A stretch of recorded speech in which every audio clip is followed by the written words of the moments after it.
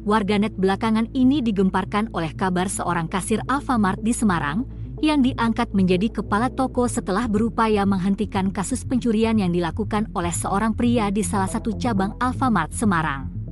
Bambang Trianto, brand manager Alfamart tersebut menyampaikan bahwa promosi dari asisten Chief of Store menjadi Chief of Store ini dilakukan atas aksi heroik Fanny yang mencoba menangkap pencuri tersebut hingga terluka karena terseret di aspal.